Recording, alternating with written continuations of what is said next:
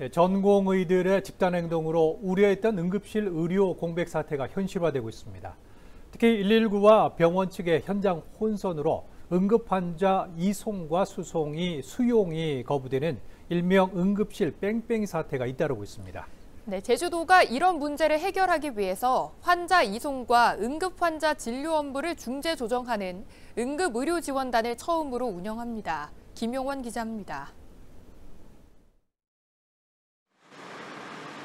지난주 발생한 교통사고 현장입니다. 승용차와 트럭 운전자 등두 명이 다쳤는데 한 명은 구급대가 정한 병원으로 이송됐지만 다른 한 명은 예정됐던 병원 대신 다른 병원으로 옮겨져야 했습니다.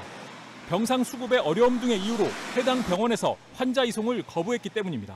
그분이 원래는 병원을 이송하려고 했는데 네, 병원에서 수용이 불가하다고 해가지고 특히 전공이 집단 행동 이후 구급대와 병원 측의 입장차로 환자 수용이 거부되거나 재이송되는 사례는 현실로 나타나고 있습니다.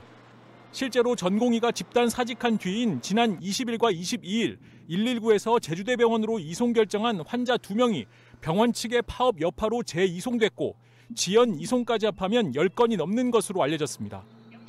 환자 이송을 놓고 응급 현장에서 혼선이 빚어지면서 이른바 응급실 뺑뺑이 사태를 더 키울 수 있다는 우려가 나오는 이유입니다. 이를 해소하기 위해 제주도가 처음으로 119와 병원 이송 진료 업무 등을 조정하는 응급의료 체계를 구축했습니다. 어, 응급의료 어, 지원단은 응급 환자에게 적절한 응급의료 서비스를 제공하고 응급실을 찾지 못해 헤매는 일이 없도록 응급의료기관과 119 구급대가 협업을 해서 응급 환자를 신속하게 이송하고 치료할 수 있도록 어, 하는 조정 역할을 주로 담당하게 되고 실시간으로 도내 응급의료 현황을 분석해 중증 환자 이송 지연이나 재이송 사례를 줄이겠다는 겁니다. 저희는 우선적으로 중증 환자 한해서라도 특히 중증 환자를 집중, 집중적으로 치료하고 있는 한라병이나 제주대병원 중심으로라도 어, 환자가 소실되거나 또는 치료를 못 받는 일이 생기지 않도록 하는 방안을 우선적으로 찾아보려고 노력할 것입니다. 최근 3년 동안 제주에선 병상과 의료 장비 부족 등의 이유로 재이송된 환자가 630명에 이르고 있습니다. 전공이 이탈로 응급의료가 비상사태를 맞은 가운데 119 이송과 치료 현장의 혼란을 최소화하는 데 기여할지 주목됩니다. KCTV 뉴스 김용원입니다.